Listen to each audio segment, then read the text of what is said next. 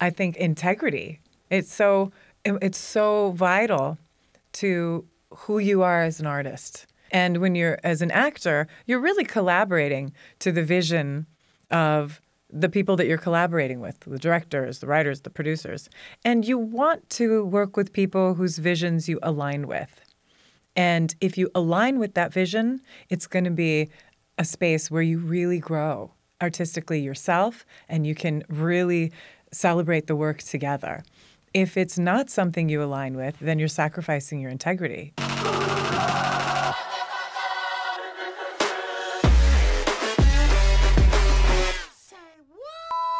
Ladies and gentlemen, welcome to another episode of Wild Truth. I have a very special guest. She's not only a star, she's an incredible actress, she's a model, she she does it all. But forget about all that. She's one of my dear, dear friends. I consider her my best friend. Oh, Please welcome Necar Zadegan. you're sweet. Thanks, Max. I'm so happy you're here. I'm I'm always come by. So, listen, this podcast will be very different in the sense where we know each other so, so well that there's so many things that maybe we think is not important or we, we won't go into details, but it will be very interesting for people. So, I want to be aware of this. Okay. And I, I I really, uh, you're very special to me for so many reasons, mainly because we, we know each other for so long. I know. yeah. And we have such a beautiful history. We do. And you're such an incredible human. So are you. What is a definition of a best friend? Oh my god. Because let me tell you why. Because she's my best friend, but I'm not sure if I'm her best friend. Isn't that a weird thing in your friendships? Like you feel like you, you know you consider someone's best friend, but then you in, in inside deep you go, bitch, you ain't my best friend. I feel like I haven't. I I don't need to watch your show to know that you'd call everybody your best friend, but I really am your best friend. You're the- You're the first person I've called my best friend that's a lie. Uh, It is a truth. This is a a wild truth. Um, Yeah. you know, I don't know. Actually, that's a good question. I know what I think a best friend is. You know, I don't know. You know, my niece is six and she has like a bunch of best friends, but she like classifies them between like her first best friend and her second best friend. It's so That's cute. adorable. I know it's so cute. That's adorable. But so, but I kind of feel like that's kind of how it is. Like you have a lot of friends that are like really, really close, but then there's some people that you're just like, I don't know. There's some people you have history with. That's different. We have history. Your definition of a best friend, to me, Yes. best friend is somebody you have an incredible joy with. You're comfortable with that person. You trust them and they're there for you. Yes. And and everything I said, you're that person. Oh, that's so kind. you know, Thank in the you. most emotional, hard times of my life, you've been there for me. Uh, whether I was going through a breakup or I was frustrated with my work or I was mad at somebody, I feel like you're somebody that I can call at any time and you're you're so reliable and I'm so comfortable with you and I can share anything and you you you would not judge me. You too. You always give me the best feedback. Well, good. I'm glad. I'm Yeah. glad you feel that way because I feel That's that way best friend. about you, and I'm happy that you have that in your life, and I get to be that person. Yes. So let's dive into all the times you were an asshole to me. Never. Yeah, never. really. Ever. never, ever. It's true. It's so true. So No, but um, you take it well when I have to like tell it to you straight. mhm. and we've known each other since we're in our twenties. Yes. Yeah. We so Which for so like, many people year. that are listening to this podcast or watching this, Necar and I met. Um, I was I had just graduated college. She had just graduated kindergarten, and um, we both were cast on a play uh, that was touring through Europe, hmm and it was it was an Iranian play, uh, starring one of the biggest names of Iranian cinema, you know, the Marlon Brando of yes. Iran, Behruz Vossoughi, and he's he's just such a sweet, loving man, Mm. and we both were so excited to be a part of this We cast. Wonderful, wonderful show. We Yeah. had the best time. We had the, The best, best time. We traveled through Germany, Sweden. We went to Dubai. Yeah. Every time I think of Dubai and I think of you, my heart rate goes up. Why? We were in Dubai. I and, don't- And we stop. were going to go to the bazaar. no, not stop. We were going to go into the bazaar, and, and the car goes, "All right, I'll be ready in two minutes." Just and then she, she she we meet her in the lobby. We're in the Middle East, about to go into the bazaar, Yeah. and she's wearing a That's short a, that's short. Not, that's a lie. yeah, it's the that's a truth. lie. It's such a, it's so not a lie. Her shorts are so short, you don't know if it's a bikini or it's a short.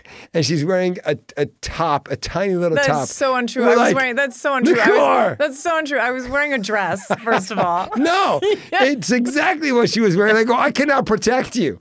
This is the Middle East. What are you thinking? That's so not true.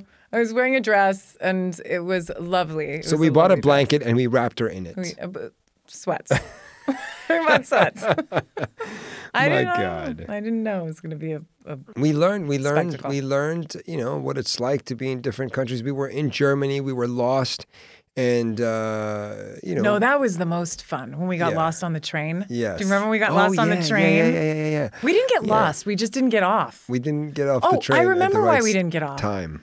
Yes, because the train, because it was Germany, and they like really wanted to stop at the right time and then get going at the right time, and you, and the people got off really fast. Remember, with their suitcases and everything. Yeah, and we were two idiots. No, you actually, but I, I, know. didn't dis- I know, disagree with you. You were like, "Why is everybody rushing?" And the train just took off, and and then there was no more stops. Remember, we had to go to the end of the line. Yeah, and we ended yeah. up in that cute little town. Yes, you were going to Frankfurt. We were we were in this we were in the city.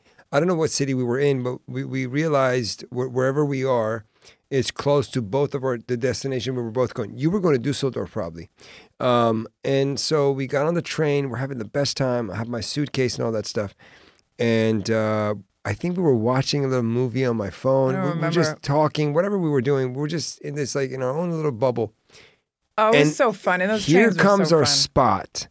You know, the stop is there. We, we we ran and, and we grab and people are just like rushing out. We're like, what is wrong with these people? And we get to the door, boom, door closes in our face, and the train goes, and we're like, uh, what do we do? It did. And Necar, Necar face. speaks such a beautiful German. El shoot again.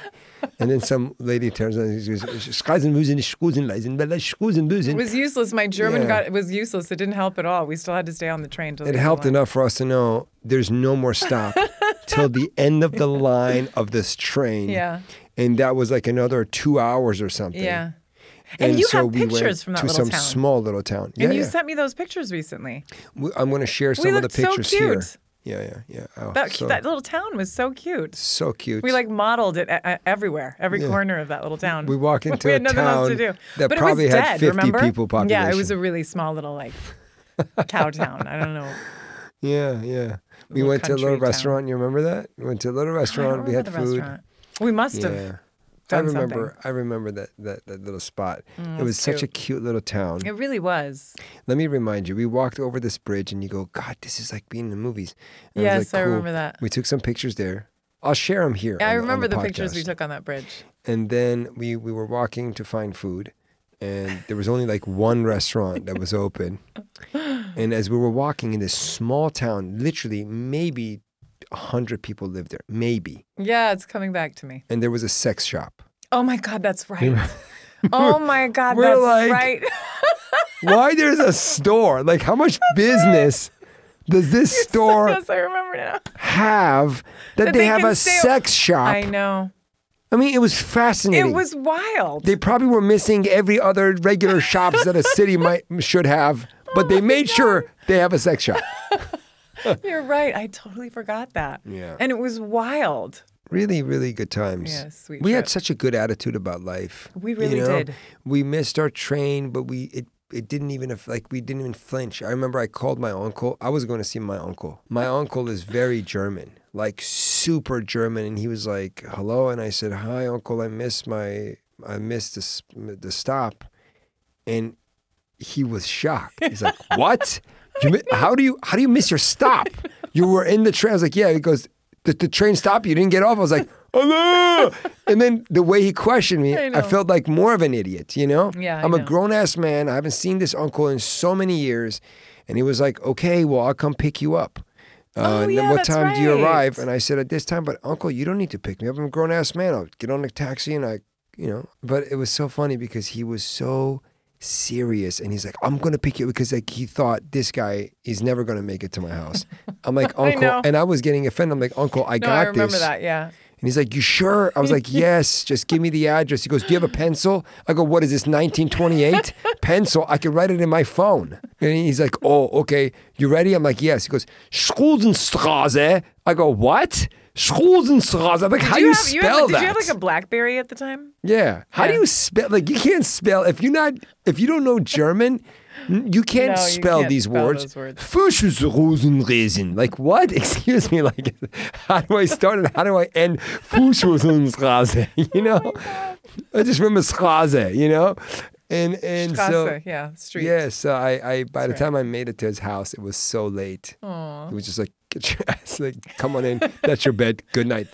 Guten Nacht. And you just went to bed. My God. That was fun.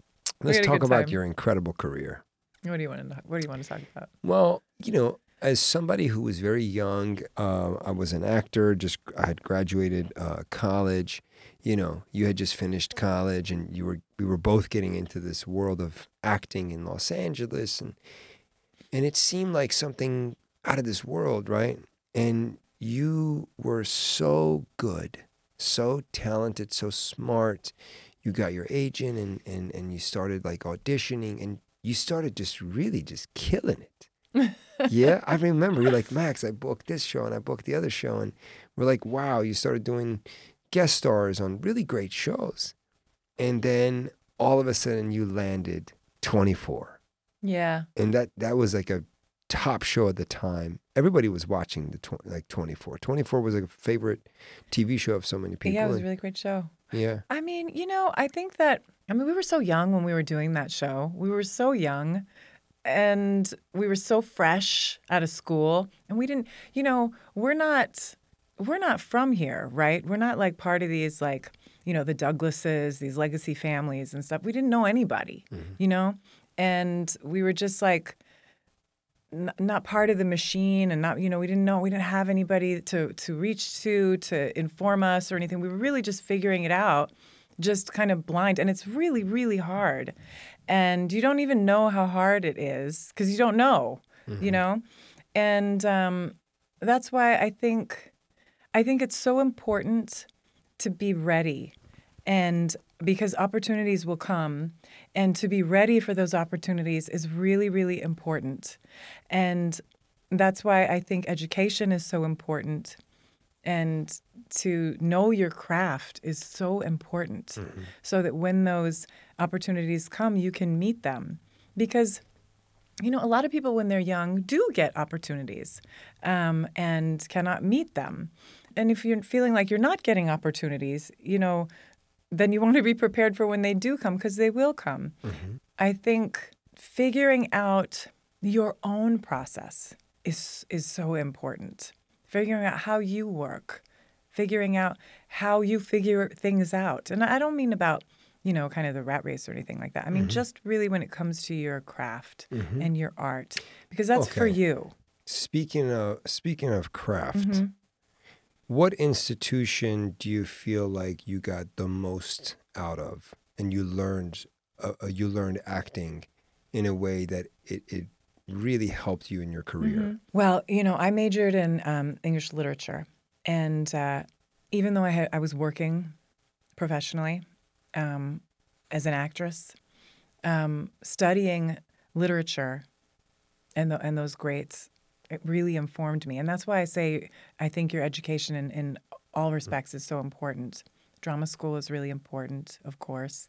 You went to drama school too, you know, um, but that background that I have um, and and studying literature, which which I chose to do because I'm an actress. You know, it informs me all of the time. Reading Shakespeare, reading all those characters, all those stories that are based in that. I refer to that stuff all the time. Mythology, archetype. I work. I often work archetypically. Um, so archetypes in terms of, you know, that that structured storytelling. I apply that all the time, and I, I really value that. I think that's really valuable. To be the more awareness you have of story, the more you can be inspired with regards to storytelling. I think that's really valuable That's amazing. That's amazing. I, I feel, um, for me. you know, I understand. And, and honestly, as I'm listening to you, Mm-hmm. I'm realizing yeah, you're right. Like, I took a little something um, from each, you know, coach that I worked with. Mm-hmm. I worked with this uh, lady at UCLA, Delia Salvi. She was the professor of directing, and she was she was she was very well known and loved in the industry. She was probably one of the harshest, most angry woman I've ever met in my life. Mm. This Italian, like just she was everybody was scared of Delia. She Mm. would just scream all of us in the class, What the fuck are you doing? Get the fuck out of here. Sit your ass down. You and Yeah. she would just lose it. Yeah, those old school teachers Oof. teaching that like old school style. She was so I know. good. Yeah. The things I learned in her class helped me direct my movie. I mean, like Mm-hmm. I've read so many things after that, but the things I learned in that class. Yeah. And it's also like you're a sponge at that age. You you're really taking it in. You have all the time in the world and you're just so enthusiastic about Totally. your you know your your art, you know, your passion, what you love to do. So, the, but but as I'm listening to you, I love what you said.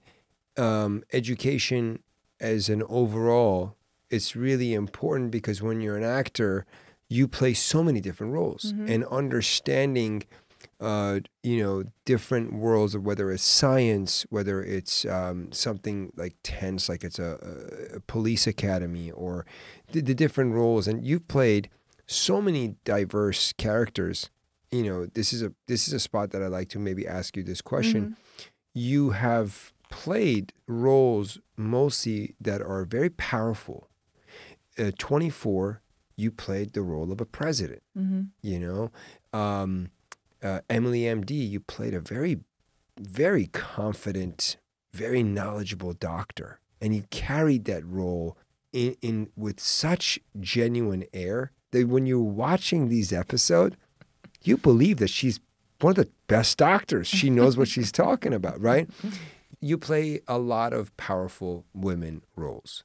What is it about your confidence? What is it about the the the aura that you have that is that's able to embody these these big big roles I'm always interested in, in working on things that I'm interested in. And so, I mean, I don't think of uh, any character in one sort of way. I, I try not to anyway. I think that, I think all kinds of aspects of the characters kind of are interesting for me. But I don't, I, I, I think I'm, I just try to work on things that I'm drawn to. No, you're being humble, but No, just I really mean it. no. But look, not a lot of people, lying. not a lot of people can play really powerful roles. Just forget about acting in real life. Your posture, your lifestyle, the way you carry yourself, it's so strong. Yeah, but you know, those things are all dependent on the character. Like, you know, when I was on Broadway and I was doing that show, um, the Bengal Tiger show, I played a leper in the second act, remember? And there was um, a lot of physicality with regards to that character. I should have asked them for a chiropractor. I know you should, But I did not. I remember. but uh, you know, and and that's why I say to your process, your own process, not like a certain teacher, or I, I think it's wonderful to study every method and, and with every as many people as you can, um, because people have all kinds of different processes. But ultimately, you have to find out what works for you and what what makes you able to get into a character, and it's going to change, you know, from story to story or character to character. Hopefully, it changes. Hopefully, it's not. I mean, you know, every stage you go to, something's different. You know, every city you go to, every audience you work with, something's 100%. a little bit different. But not anybody can play a hard, badass gangster. Not every guy can do it. Right. Right. Well, I think, you know, that's not for I don't, I don't know if that's for you to figure out. I feel like the industry that that you end up working in professionally will try to fit you into Mm-hmm. places from outside of your control. So I think it's up to you to, to go towards what you want, Yeah. you yeah. know? Yeah, but I also think um, actors, artists, they bring a lot of themselves into these roles. Mm-hmm. You know, people that have a certain level of confidence in their own personal life, Mm-hmm. people that experience power, control, different elements uh, that that helps that could be very easy for them to access when they get when they play such roles Mm-hmm. you know, uh, makes them more eligible to take on a role of a president or a king or a queen. Yeah. So, and I think in your You case, think I'm a confident person? I think I think you're very. I, think you're very that. confident. I think you understand what's it like. you understand what is it to be a very power, powerful lawyer, for example, and and your emotional, your intense, dramatic scenes are so powerful. And if you if you're not familiar with what that is, you can't portray it for the screen. Mm-hmm. So, looking into your personal life, you may not think, "Oh, okay, my personal life." I don't wake up in the morning and I go, "Where is my butler?" like maybe you don't do that, but No, but that's But what I mean. have- like, you- you but I don't think certain- I think it's rare. I mean, I, unless you're playing like commander that's going into battle or something like that, you're not necessarily usually thinking about a character like was wake up waking up to be powerful or something.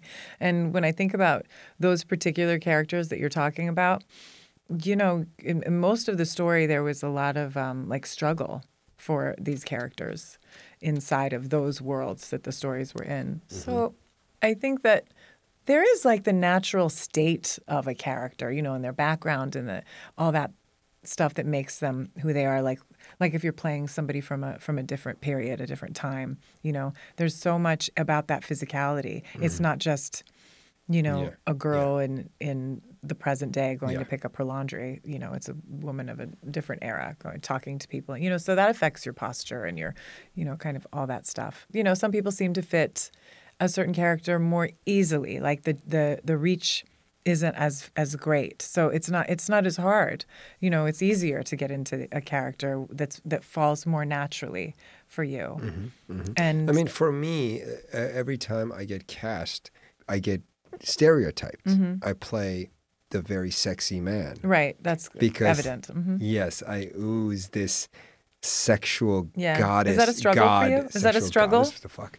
Uh, I, Playing goddesses all the time is it a struggle? you're, you're the joke tanks. Uh, fuck. Uh, you know what I mean. Um, No, I never, I never get to. You have play no the sexy struggle. man ever. They're like, oh, look at that guy. Uh, he looks like, uh, he, he looks like he can blow himself up. Yeah, yeah. He looks like he can. He looks like the crazy person. You know, that's another important. that's another important point too. Is like I think integrity. It's so um, it's so vital to who you are as an artist. We came to this business in a post 9/11 time, and that was particular for our journey. But I think that's like that's just the elephant in the room that you always have to address, you know.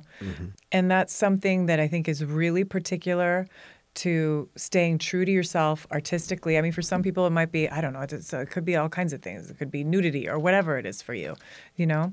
But I think I, I, I always make, make like to be nude. Yes, Right. I, I, think I that's. would take I would have no doubts. Mm-hmm. any nudity scenes, and uh, they would they would consider, And and, then they would consider I would cutting them. audition, and they No, were like, right. oh, "No, sir, this is gonna ruin. this is this is not a comedy. This is a very cool drama, sexy, and and, and thank you for trying." No, but I Um, think integrity is a huge thing because what what you're doing is you're collaborating in this business. Almost in any art, right? You're collaborating to some degree.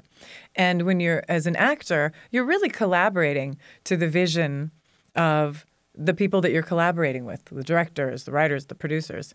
And you want to work with people whose visions you align with.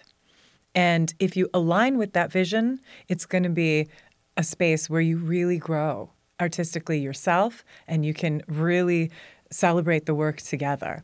If it's not something you align with, then you're sacrificing your integrity and Totally. and that's that's very painful and you're not going to enjoy it and you're selling yourself ultimately.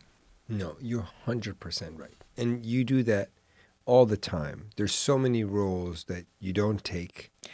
You it's really important. It's become very important to me, and it's and it's something that was a harsh reality that I, that we had to face very quickly because of this time that we came in, which was a post 9/11 works. I don't know that I, I would have understood that so quickly otherwise, but for me particularly, it was something that I really contended with very very soon. But you're very lucky. You've had so many amazing roles, Mm-hmm. and and you pretty much um, never allowed the industry to put you in a box. Mm-hmm. You've had the most diverse, you know, NCSI agent, badass, like just incredible scenes, and then you you played like right now your role in Mayors of Kingstown, Mm-hmm. just such an incredible beautiful role you have. It is a beautiful role, and I love it. Um, and this is what I mean. It was always really important to me to make sure that I worked with people who understood mm-hmm. what I understood. Hmm. I, I always wanted to co create. I never wanted to be just for hire. I always wanted to co-create something. Mm-hmm, mm-hmm. That can, you know, and I'm really, and I, you're right. I am lucky that I, I was able to find those places. Yeah, well, you you got to this level that you could you could actually um, you're, you're in a place in your career that you could have this sort of brainstormings and collaborations, etc. No, but even early on, I was real. I was really, really, really harsh with my teams about it. Um, remember when we used to work with Todd, Yeah, and you introduced me to my first great agent. I Yeah. will always appreciate that. And Todd loved us, and we loved Yeah, Todd so, so much. true. He was wonderful to work with. yeah, What a what a safe, protective person to work with such young, inexperienced actors. Remember, he protected us so much. So much. And everybody has their own journey of where it's important to their integrity, the type Mm-hmm. of work that they do. And you have to know what that is and you have to be clear with people and, and hold a hard line with regards to that. Because if you don't, it's really easy to slip one way or another and find yourself in things that don't align with who you are or what So you want to do. Beautifully said. Um, you mentioned uh, your play on Broadway. Mm-hmm. I want to talk about this because it was so special for me to be in New York. I know. And then I knew you have a show on Broadway, and Robin Williams was starring in the show. Mm-hmm. And I was like, oh my God. I worked with some You great know. people as a kid. Yeah. It was great. Oh, and I was thinking, like, how cool is this? Like, I'm in New York City at the same time that your show is still on, on stage. Yeah, you were doing a you were doing stand up out Yeah. in but nothing like your Broadway. It's just called Caroline's on Broadway to make it extra cool, but it- it's a stand-up comedy club. Um, but but you know, I felt so special. Uh, Necar invited me to the show, and and they gave me these amazing seats, and um, it was a sold-out show. It- the the critics were raving about the show. It, It was was it was show. Robin Williams playing a very out of a norm sort of roles Yeah. for him. Yeah. You know, he had grown that beard and he was playing a tiger. And I was so excited to see you. So It was an me- exciting show. It was my Broadway debut. It was all of our Broadway yeah, debuts, yeah. even Robin's. Wow. I know it was really special. And, and for me, it was so cool to see my friend on stage, Mm-hmm. you know. And and I remember after the show, you brought me backstage. I came around. I came backstage. We're hanging out, and you said to me, "You want to meet Robin?" I said, "Do I?" I know you were so shy. Remember how shy you used to be? Yeah, yeah, yeah. You were so shy. Well, I mean, meeting Robin Williams, you would be a little shy. Yeah, but you, were know? shy just generally. I am in particular, you know, situations. I'm shy. Yeah. Yeah. I remember meeting him, and he was so nice. Yeah, he was he was lovely. And you person. told me something. You, you said to me like, "Oh my God, it's been a joy working with him." And I would love It to was. like. I, I'm gonna share, and then I want to hear like, what was it like for you to work with him? Um, but for me, that that little tiny bit of experience I had, you know, you introduced me to him, and you said to him, "This is my friend Max, and and he's a stand-up comedian. He's here for a show. He's selling out these great theaters and this and that." And and Robin said, "Oh my God, that's great!" And and he started he started asking me questions about stand-up. Uh, what's the scene like in L.A.? How's the comedy store? What's going on there? Hmm. How's the that? And and uh, and I was answering his questions, and as I'm answering his questions, I'm like, I'm telling Robin Williams about the comedy clubs, and like, what? I know. Like this guy was in these clubs for years, Yeah. and it kind of made me realize it was his way of connecting to me, Yeah. and he was so sweet to give me like he was sort really of generous. you know what I mean? Really generous. He was- putting me on the pedestal, like you Mm-hmm. tell me how this thing is, and I thought, how gracious of him. He yeah, very. he was What a beautiful! It was one of the most beautiful experiences I had, and we talked, and I told him how much I enjoyed his role, this and that, and afterwards I asked you and share to, with us like, how was the very first time for you when you met him and started from then on working with him on stage? um, Arian Moayed, who's a- you know Mhm, is a wonderful actor as well, was in the project with us, and uh, he um, he was from New York. He lived in New York already. The rest of us had relocated to New York for the show, but he lived in New York already. And he, we had already been a, a group of actors before Robin came on. We were working with another actor before they brought Robin on for the Broadway show, and so he had set up just super casual dinner for us at this burger joint in Midtown. Who did? Robin did? Arian did. Oh, Arian. Arian did, Oh, and for us to, you know, because we were all back there, and for us all to get together Okay. again. And he invited Robin. Okay. So that was the first time that I met Robin. Was at the Burger Joint, just the actors and Robin. And Robin was really um, kind of, you know, I, I guess people probably just didn't expect to see him, but he was also he had that beard and he was wearing like a beanie and stuff, and he was so sweet. And he he had gotten there before I did, but he was, you know, I- it's it's hard to describe him as shy because he wasn't shy, but he was just very humble, you know, and um, kind and just just kind of one of us and so now that i look back it was really special that robin joined us because you could be in that situation and the star that's you know bringing the star name to the show but just might not join you know not for any sinister reasons just because you know what for? yeah yeah but he really Go meet bunch of peasants of actors. I don't bunch know of what they're- wannabes. no, but he was just really just so excited in not only um, you know in his talk but in his actions very much to be there and work with us in the most down to earth ways.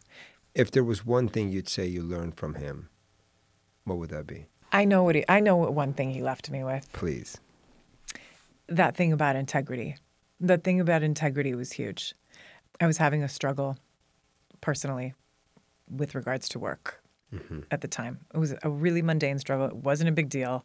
Not like anything I'd contend with now, you know, but uh, just some really silly thing I was contending with. He had to come into makeup after I did. And I was talking with the makeup guy about it. And then he came in, and I don't even remember what it was now. I remember what he said to me. He said, Don't ever let them scare you. Don't ever let them scare you. And he said, Also, if they tell you you're going to make a lot of money doing it, don't do it. Wow. Just do it because you love it. It's And really beautifully said. yeah, and that was um, the thing about integrity. A lot of people don't know how um, generous he was with regards to the troops and how um, philanthropic he was um, during that time of the war with Iraq. He, but he was. And uh, the show meant a lot to him because it spoke to things that weren't really, you know, being spoken about. And he didn't really want to. I don't know, but if he did or if he didn't want to, but he wasn't really sp- speaking um, about politically, but in his actions again, in terms He of was. integrity. Beautiful. Yeah, he Beautiful. was. But isn't it incredibly common Mm-hmm. amongst some of the most well respected figures Mm-hmm. in life? Now, in this case, talking about industry, Mm-hmm. actors, directors, those who don't sell themselves out Mm-hmm. Are always some of the most respected, greatest figures of, of, of their their world, you know, that whatever in- Yes. industry they're in. I've not met one great actor that does anything besides what you just said. They all, you know, will only take what means something special to them. They're they're out there to make something great. They're there to make an impact. And therefore that intention carries into their work and, and, and it pays off. Yeah. You can't be a phony and have such a, you know, stature, uh, because Well- time alone will. no, I think I think time will make you fall off the charts if if you're phony. You could be phony for you know a couple of you know projects, or you, you can carry it for so long, but the, if you're not the real deal, you don't have a lifetime career.